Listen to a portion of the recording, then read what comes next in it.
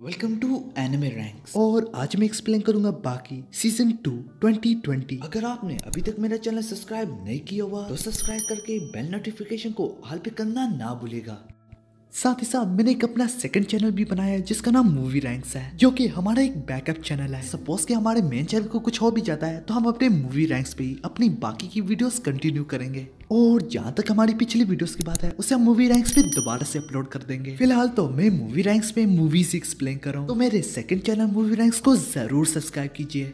Thank you now enjoy this video हमारे episode की शुरुआत में ओलिवर अपनी जीत के बाद एरिना छोड़ के जाने लगता। जाते जाते वो यूजिरो हानमा से भी मिलता, लेकिन उनके दरमियान में कोई बातचीत ना होती। इसी तरह अगले सीन में दूसरा मैच स्टार्ट होने को जा रहा होता, जो कि एक कायो जापान से होता, जिसका नाम जैकू यूज़र ऑफ़ कोकेंडो और उसका अपोनेंट होता चाइनीज़ कायो चिन यूज़र ऑफ़ सेंगोकेन मैच की शुरुआत में जैकू सबसे पहले वार करने के लिए आगे बढ़ता, लेकिन उसका वार लगने से पहले ही चिन उस पर एक जोरदार हमला कर देता। इसके बाद वो कहता है स्पिरिट और fist Chinese martial martial arts इन्हीं दो चीज़ों का स्पेशल मिक्सचर इस्तेमाल करते हैं। अपने स्पिरिट को ही अपने जज्बे को फिर से मिलाते ही हम और कंट्री से मार्शल आर्ट में आगे हैं। लेकिन इसके बावजूद भी ये काफ़ी नहीं है। यही वजह से कभी कभार हमें फ़िज़िकल स्ट्रेंथ भी हरा देती है। हालाँकि स्पिरिट और फिस के अलावा भी एक और चीज़ को भी ऐड करते हैं। वो है अर्थ जज्बा पंच और जबीन। संगुकन इन चीज़ों का मिक्सचर का इस्तेमाल करते हैं। जो सुनते ही जाकू कहने लगता चलो शुक्र है क्योंकि मैंने तो समझा था कि एक ये स्टूपिड सा पंच है। फिर से एक और बार चिन कहने लगता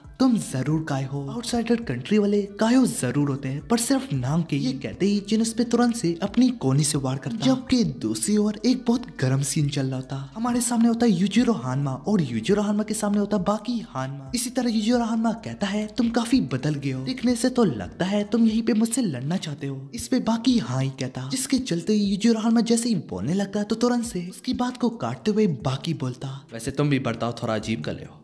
मैंने समझा तो तुम मुझ पे तुरंत से वार करोगे, जैसे तुम मुझे देखोगे। या फिर जैसे ही मैं लड़ाई का टॉपिक छेड़ूँगा। पर जरा देखो तो सही तो मेरे सामने ही खड़े वैसे इन चीज़ों के बारे में मुझे क्या पता? क्योंकि मैं तो दुनिया का सबसे स्ट्रॉन्गेस्ट हूँ ही नहीं। हालाँकि इसके बावजूद भी, अगर मैं दुनिया का सबसे कमज़ोर क्रीचर होता तब भी मुझे ज़्यादा फ़र्क ना पड़ता। जब तक मैं सिर्फ़ तुमसे थोड़ा सा भी स्ट्रॉन्ग होता। चलो ये भी ठीक है। अगर मैं सिर्फ़ तुमसे थोड़ा सा भी स्ट्रॉन्ग होता तक कुछ सुनने के बाद यूजुरामा को काफ़ी गुस्सा आने लगता। जिसके चलते यूजुरामा कहने लगता आखिर कितने साल हो गए हैं इस बात को? जिसमें यूजुरामा ने बाकी को कम्प्लीटली ओवर पावर कर दिया था। तो इस पे बाकी कहता है चार साल और दस महीने। इसके तुरंत ही यूजुरामा एक और बार फिर से कहने लगता तो कल का बच्चा सिर्फ़ थोड़ा सा ही स्ट्रॉन्ग हो गया। अब मुझे आँखें दिखा रहा है। सुनने के बाद बाकी अपनी शर्ट उतारने लगता। उतारते हुए कहता है, क्या हुआ? आखिर इसमें बुरा ही? क्या चलो डैड, काफ़ी बातें हो गई। अब लड़ते हैं। या फिर तुम डर रहे हो? इससे पहले दोनों एक दूसरे पे वार करते, लेकिन सीन शिफ्ट होता, जिसमें जाकू अपने घुटनों पे होता। अब सारे लोग आपस में बातें कर रहे होते कि ये शिंजुकन ये शिंजुकन यूज़र काफ़ी स्ट्रॉन्ग है। इसी तरह जाकू अपने कदमों पे खड़ा हो जाता और खड़े होते ही कहता है, क्यों ना तो मुझे ज्वाइन कर लो जापान में? ट्वेंटी फोर थाउज़ेंड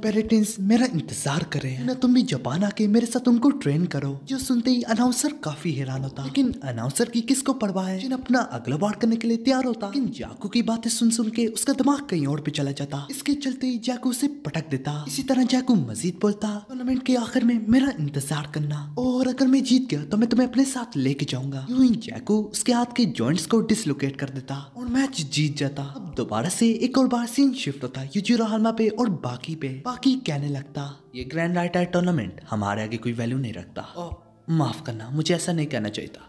तुम जाके देख सकते हो। लेकिन यूजुरो हनमा कहता है बाकी थोड़ा रिलैक्स करो। तुम्हारी तो टांगे भी काम पड़ी है। ऐसी बाकी नीचे देखने लगता है। तो इसी मौके का फ़ायदा उठाते हुए यूजुरो हनमा से मुँह से पकड़ते हुए दीवार से पटक देता। यूजुरो हनमा कहने लगता कि तुम्हें सही में लगता है? तो मुझे नीचा दिखा सकते हो। तुम मेरे आगे कुछ नहीं हो। तुमने क्या बस थर्ड रेट मार्शल आर्ट को हरा दिया? बस तुम तो हवा में उड़ने लगे। इसके तुरंत ही यूजुरो हनमा चिल्लाते हुए कहता अब दफ़ा हो जो यहाँ से। यूजुरो हनमा दीवार तोड़ते हुए उसे दूसरी तरफ़ फेंकता। बाकी दिल दिल में कहने लगता साला कुछ ज़्यादा ही स्ट्रॉन्ग है। जब बाकी दोबारा से वहाँ पे जाता है तो यूजियो रहमा वहाँ पे मौजूद ना होता। लेकिन इसके चलते इसके चलते ही बाकी को अपने ऊपर काफ़ी गुस्सा आने लगता कि कहीं ना कहीं दिल में उसे काफ़ी खुशी होती कि यूजियो रहमा यहाँ पे नहीं मौजूद। इसी तरह एक और बार सीन शिफ्ट होता। हमें रायो रेडसू के बारे में दिखाया जाता। वहाँ पे एक मंक आता। वो आते ही कहता है मास्टर रेडसू मुझे अभी भी खबर मिली है की सर्जरी कंप्लीट नहीं हुई। लेकिन बाकी अभी ज़िंदा रह सकता है। जो सुन के रायो रेडसू कहता है, ज़बरदस्त खबर है। रेडसू से पसीना नीचे टपक रहा होता। इसे स्टैंड ट्रेनिंग कहते हैं। इस पर रायो रेट्सू कहता है। पच्चीस साल हो गए इस बात को। सबसे पहले जब भी मैंने ट्रेनिंग शुरू की थी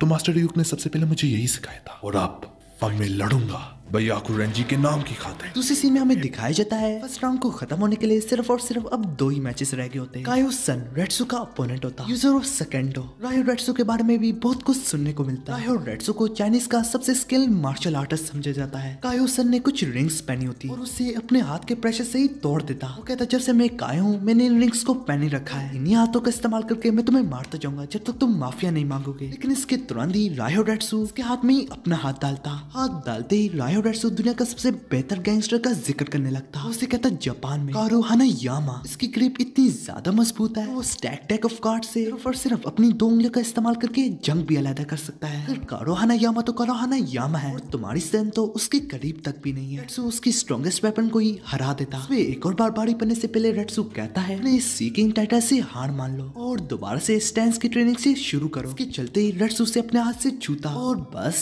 जीत जाता। जाते जाते रेट्सू दिल ही दिल में कहने लगता, ये सीकिंग टाइटल्स का लेवल तो काफ़ी गिर चुका है। उस सीन में हमें दिखाया जाता है थ्री मिनिस्टर्स और सारे कायो एक जगह पे ही मौजूद होते हैं। सारे कायो से मतलब कांग के कायोस। कायो काकू कहता है रेड्सू आखिर तुम्हें क्या लगा? इस मैच को जीतने के बाद? तो कायो रेड्सू कहता है, मैं काफ़ी डिसअपॉइंट हुआ हूँ। काकू मजीद बोलता फ़र्स्ट राउंड के सेवन मैच के बाद चाइनीज़ में सिर्फ़ और सिर्फ़ तुम ही और मैं जीता हूँ। ये वजह से कायो काकू तीनों मिनिस्टर्स के हाथों को काट देता, क्योंकि सारी की सारी गलती उनकी है। इतने ज़्यादा वीक कायोज है। खोल के सुन लो। ये सी किंग का टाइटल किसी भी एरे गहरे बाहर के लोगों को मत दो। इन सब के बाद वो दो और नए लोगों को बुलाता। कि उनमें से एक उसका बेटा होता शिन से और उसका दोस्त रोन। हम एक चाइनीज़ एलिट पावर की टीम बनाएँगे। लेकिन इसी में एक बंदा कहता है तो मेरे मैच का क्या? इस पर काकू उसे सुला देता, ये कहते हुए तुम में से एक वहाँ पे ना आए तो तुम्हारा मैच नहीं होगा। और उसे सुलाते ही उनकी टीम भी कंप्लीट हो जाती। ये बात रायो रेड्सू यूजू रहनमा और सबको बता देता। ताकि आम अल्फाजों में जापान वर्सेस चाइनीज़ होने जा रहा है। और राय रायो रेड्सू उनसे माफ़ी माँगता, क्योंकि वो तो उनकी तरफ़ लड़ेगा। तो हाँ जापान की तरफ़ से ओलिवर भी लड़ेगा। साथ ही साथ मोहम्मद अली भी। फाइव वर्सेस फाइव होने जा रहा है। रेड्सू अपने दोनों मेंबर्स के बारे में भी उन्हें बताता। उनके पास सीकिंग का टाइटल ना होता। और उसका नाम सुनते ही यूजू समझ जाता। शुन से द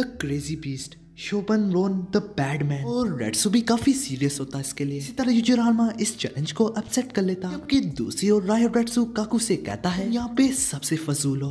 अब एरिना में दोनों टीम आमने सामने खड़ी होती। सारी सूरत हाल बता दी गई होती मिनिस्टर्स की भी और वगैरह वगैरह। जिसके बाद यूज़र हालमा इसी मौके का फ़ायदा उठाते हुए काकू से कहता है कि तुमने मुझे कहा था कि मैं अंदर से खाली हूँ, चीज़ों में जिसमें मैं लैग करता हूँ। तो इस बार यूज़र हालमा काकू से बोलता, एक और बार सीन शिफ्ट होता। पाँच के लोग आपस में ही मीटिंग कर रहे होते। यहाँ पे इस बार यूज़र हालमा भी थोड़ा सीरियस है। सीरियस को बरकरार रखते हुए यूज़र हालमा कहता है, आगे है की हम चाइनीज़ लोगों को हल्का ना ले। जीत को मुमकिन बनाने के लिए हर कोशिश करेंगे। वजह से वो बाकी से कहता, तुम मुझे ज्वाइन करो इस फाइट में। तो इस बार इस बार बाकी अपने दिल पे पता रख उसकी बात मान नहीं लेता। इसी तरह वो एक टीम बन जाती। यूँ ही ओलिवर का मैच होता। रॉन के खिलाफ। जैक उसके पास आके कहता है ओलिवर क्या तुम्हें पता तो है वो कौन है? लेकिन ओलिवर को तो उसकी सारी हिस्ट्री का पता होता। कुछ ज़रूरी इंफॉर्मेशन एज 15 से 19 तक वो हर एक राइट आइट टूर्नामेंट जीता। उसपे माफिया ने काफ़ी पैसा लगाया और एक दूसरे के खिलाफ माफिया अंडरग्राउंड टूर्नामेंट हेल्प करते थे। इस टूर्नामेंट में प्रोफेशनल मार्शल आर्टिस्ट भी होते थे, जबकि रॉन 25 इयर्स तक अनडिफीटेड रहा था। और राइट आइट टूर्नामेंट के साथ 30 साल वो अनडिफीटेड रहा था। ओलिवर जाने लगता है यूजी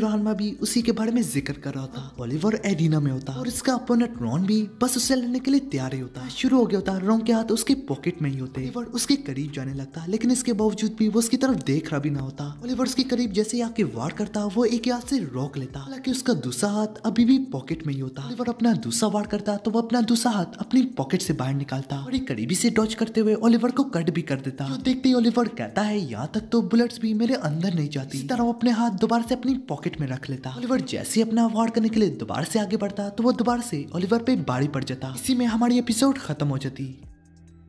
वीडियो पसंद आए तो लाइक लाइक लाइक करो। अगर पहले से नहीं किया तो सब्सक्राइब करो। साथ ही साथ मूवी नाइक्स को भी सब्सक्राइब करो। अरे कर दो ना।